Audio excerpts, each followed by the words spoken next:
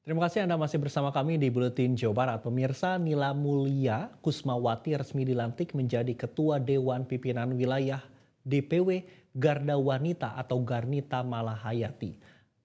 Politisi asal Garut itu dilantik langsung oleh Wakil Ketua Umum atau Waketum Garnita Nasdem Fikisu di Hotel Papandayan, Kota Bandung.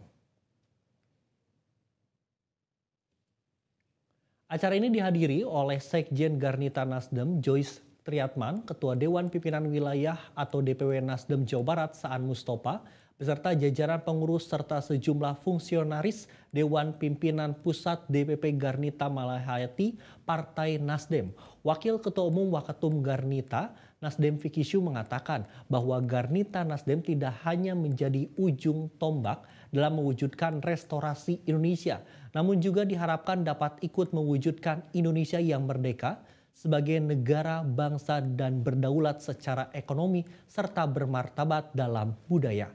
Sementara itu, Ketua DPW Nasdem Jawa Barat Saan Mustafa meyakini peran dan eksistensi Garnita Nasdem Jabar begitu besar, terutama dalam rangka mengawal pembangunan bangsa dan menjadi wadah bagi kaum perempuan untuk bisa terlibat aktif mengambil peran di ranah publik sehingga keberadaan Garnita Nasdem menjadi sangat penting dan strategis karena menjadi salah satu cermin dan perwujudan atas komitmen dan keberpihakan Nasdem terhadap kaum perempuan. Pada kesempatan tersebut, DPP Garnita Nasdem juga memberikan bantuan kepada DPW Nasdem Jabar berupa 5.000 pot tanaman hias untuk didistribusikan ke seluruh wilayah Jawa Barat.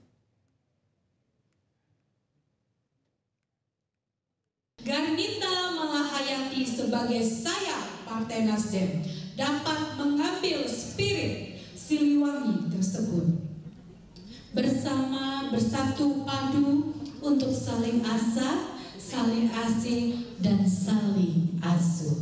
Untuk meningkatkan peran strategis, lincah, serta signifikan dalam memberikan reputasi dan citra positif tidak hanya bagi partai, namun juga bagi masyarakat.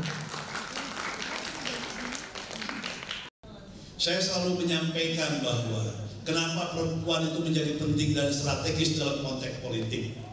Tadi, selain populasinya yang jauh lebih besar daripada kaum laki-laki, tapi yang namanya kaum perempuan juga memiliki loyalitas politik yang tinggi dibandingkan dengan kaum laki-laki. Jadi tingkat loyalitas perempuan itu jauh lebih tinggi. Tingkat partisipasi kaum perempuan di politik dalam setiap momen politik juga jauh lebih besar dibandingkan dengan